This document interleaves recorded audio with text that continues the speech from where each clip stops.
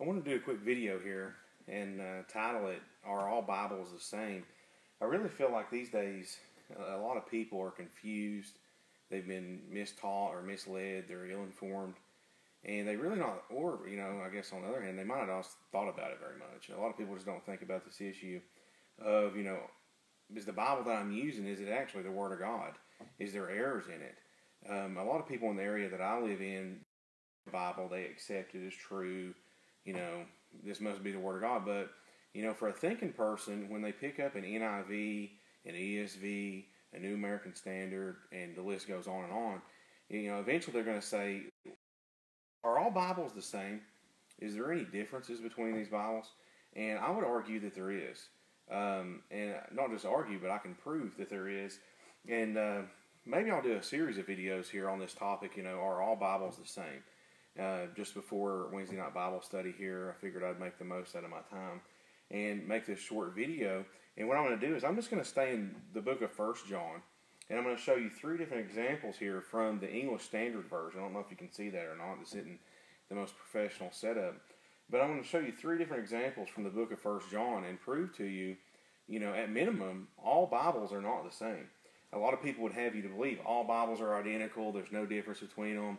It's all the Word of God, and they'll make fun of people who are Textus Receptus only or King James only. And you know what I want to prove in these videos is it's not necessarily positive arguments for the King James, although I will argue that. But I want to prove and show people that there is a difference, and so you must choose which one is the Word of God. Uh, both of these cannot be possibly the same. They're not even teaching the same thing. And a lot of times, you know, Bible teachers, uh, false prophets uh, like James White will teach people, you know, they're all the same. It's all the Word of God. The, there's no meaningful differences.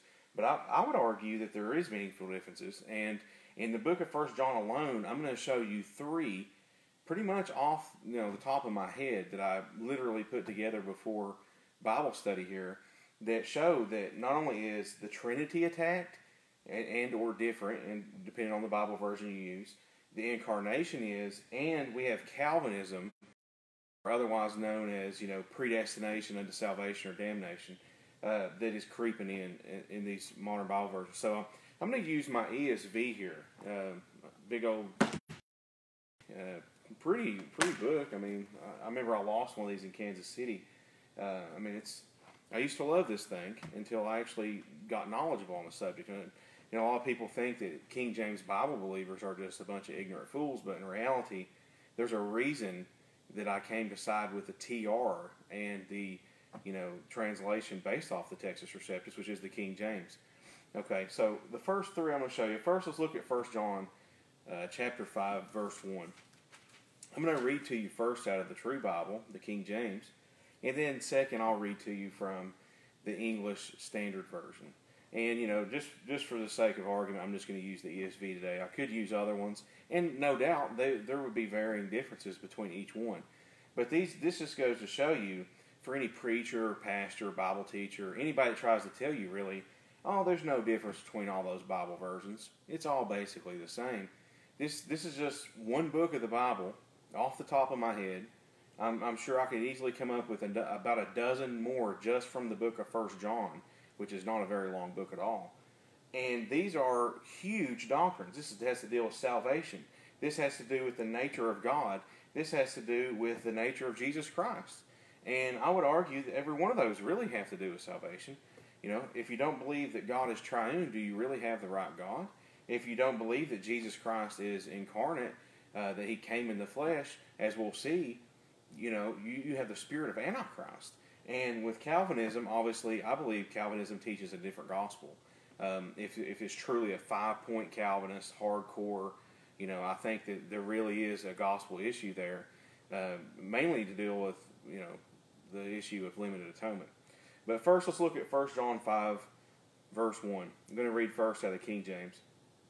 The King James says, Whosoever believeth that Jesus, Christ, Jesus is the Christ is born of God. And everyone that loveth him that begat loveth him also that is begotten of him. So it's a simple verse saying, hey, if you believe that Jesus is the Christ, then you're born of God. And everybody that's basically begot or saved, you're going to love saved people. That's as simple of this verse is teaching. Now, listen to this out of the ESV. Uh, a lot of people have called it the elect standard version, and for good reason. Let's see Calvinism here and see if you can pick it up. Most people probably wouldn't. The ESV reads Everyone who believes that Jesus is the Christ has been born of God, emphasis mine, obviously, so you can see, and everyone who loves the Father loves whoever has been born of him. And so in the ESV, we have a subtle change that affects doctrine. In the ESV, it says, Everyone who believes that Jesus is the Christ has been born of God. It's a past tense thing. And so Calvinism teaches regeneration precedes faith. Now, a lot of them shy away from this because it's an absolutely stupid doctrine. It's very, it's nearly impossible to try to defend biblically. You know, you say, well, where would someone go to teach that someone is born again before they even believe on Jesus Christ as their Lord? Because that's what Calvinists teach. Calvinism teaches that someone is born again, brought to spiritual life prior to ever believing in Jesus Christ as their Savior. Very strange and perverse. In fact, contrary to Ephesians chapter 1. Uh, and I'm not going to go there to read it right now, but it's actually contrary to John chapter 3, where I believe Jesus answers Nicodemus' question and tells him how to be born again. And so Calvinism actually teaches, and a lot of them do it in a very subtle way, because if you outright teach the doctrine, it's very abhorrent and very silly, and it just, you know, it's counter. It's like, what? So someone's saved, they're brought to spiritual life before they ever believe in Jesus. And this has led a lot of Calvinists to, you know, come up with all sorts of weird explanations for how regeneration precedes faith. But what we do know here is definitively these are different. Who would argue that believing, it says, whosoever believeth that Jesus is the Christ is born of God? That's a definitive statement. If you believe in Jesus Christ, you are born of God. That's that's true. If you believe on Jesus Christ, you're going to be born again. You are born of God. Now, the ESV, though, says everyone who believes that Jesus is the Christ has been born of God. And so you can see this Calvinistic regeneration preceding faith being jammed into the text here.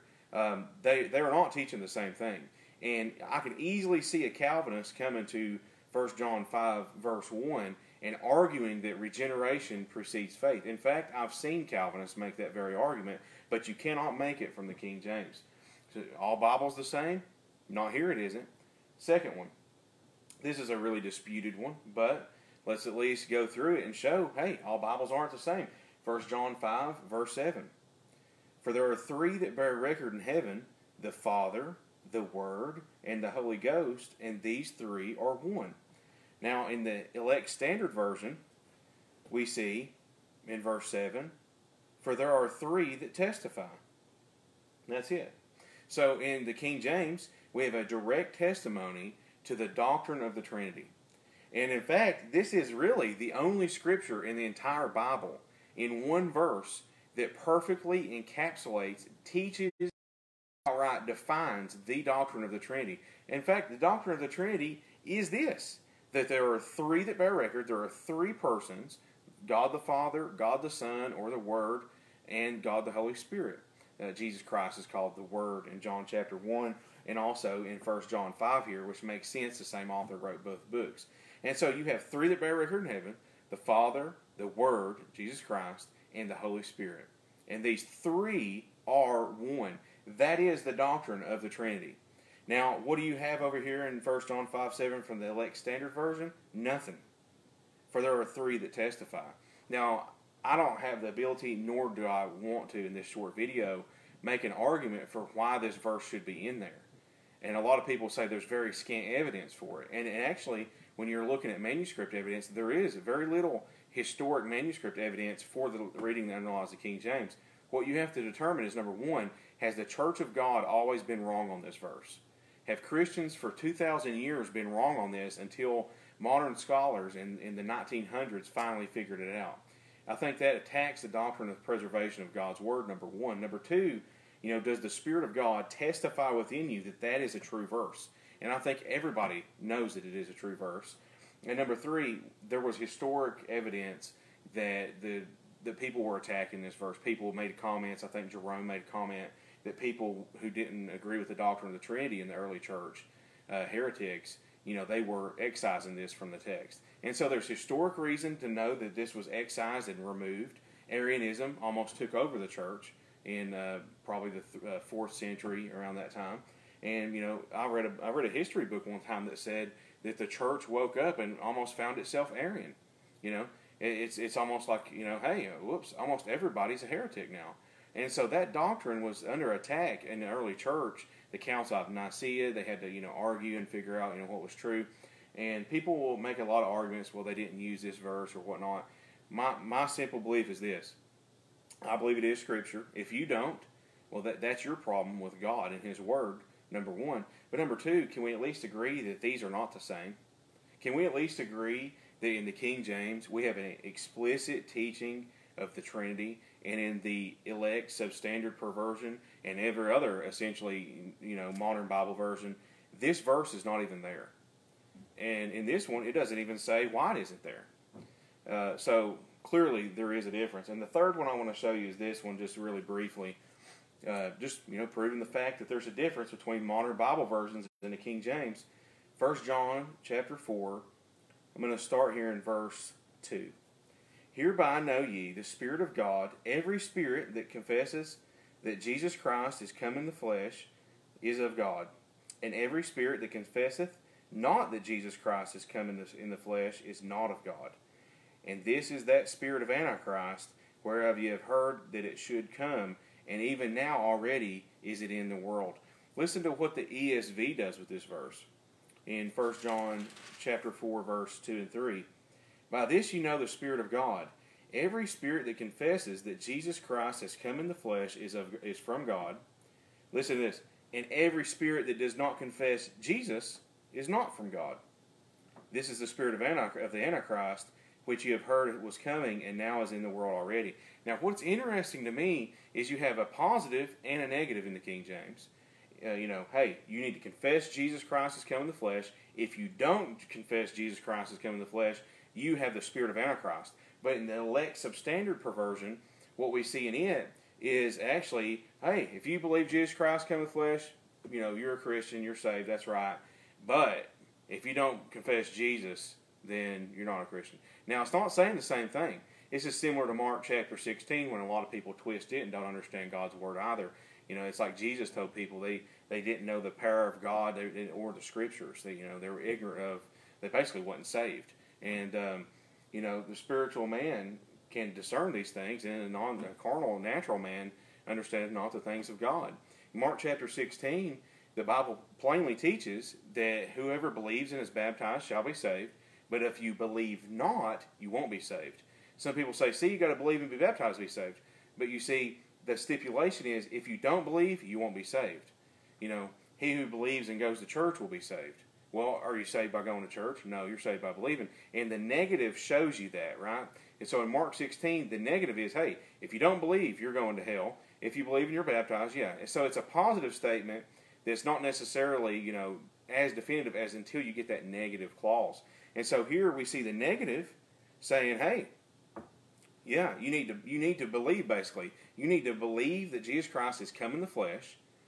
And if you don't believe he's come in the flesh, then you have the spirit of Antichrist. What happens in the ESV? Oh, yeah, you, you know, if you if you believe that Jesus Christ has come in the flesh, um, every, it says every spirit uh, that confesses Jesus Christ has come in the flesh. That's from God, and every spirit that does not confess Jesus is not from God. And so the power is essentially stripped out of this verse in the like, substandard perversion, and basically teaches that Jesus Christ, you know, you can just believe in Jesus, and you know, well, maybe you know you deny the incarnation, but you're still of God. It's really as long as you believe in Jesus, then you're saved. And you know what? The, you know if you believe that He came in the flesh, then you're saved too. It's two. It's a positive statement, and then the power is sucked out of the negative statement. You see, and so I can understand how people would still say, you know, well, at least the positive statement's there. But can we at least admit again that there's a difference in verse three when some, when the my Bible reads in First John four three Every spirit that confesseth not that Jesus Christ is come in the flesh is not of God, where the ESV says, Every spirit that does not confess Jesus is not from God. Who in the world would say, That's the same thing? That's not the same thing. There's multiple words missing, changed, and with those omissions, you can have people bring in and teach heresy. You know, it's amazing to me, so many people these days they claim to be expositors and teachers of God's Word, and every word matters, and they teach verse by verse, word by word, and it's so meticulous how I teach. And yet they have they've adopted a bibliology, a, an understanding of God's Word that is totally counter to what they profess and what they act like they're doing in the pulpit. You know, if every word of God matters, does not this matter? I think it does. I know it does, actually. Every word of God is, is inspired and has been preserved, and we need to discern and figure out where is it. Is it in the ESV? If so, just go ahead and you know excise 1 John 5 7 from your King James. In fact, put your King James down. That thing's riddled with errors. This is only one book. This is only a few examples where I, I can definitively prove to you and show you that, that this King James version is is dramatically different and not just on little things like the these and the thous, which by the way have an important purpose, but the King James is superior in doctrine all over the place. Superior in the Trinity here. It, it's superior on salvation. It, it doesn't even leave room for that Calvinistic garbage. And it's superior on the incarnation of Jesus Christ, which that's what the early church uh, was dealing with was Gnostics who denied Jesus Christ had come in the flesh. And so this is an attack, really, on the nature of Jesus and its attack on the doctrine of salvation. Who would argue that these are the same? A lot of preachers. A lot of preachers say, well, as long as everybody in the pew is reading the Bible, it doesn't really matter. It's a watering down of doctrine. It's a watering down of God's Word. And, you know, I submit to you, it does matter what Bible you use. All Bibles are not the same. And there is a difference between Bible versions. And with that, I'll shut this thing down and get ready if you ever want to join us here, you're more than willing, uh, more than welcome to come here. Uh, it's right across from the post office in Big Stone Gap, and uh, you know we do Bible study Wednesdays at six. Uh, we won't have it next week, obviously on Christmas, and uh, church services at eleven right now, um, and six o'clock on Sunday. So, till next time, God bless.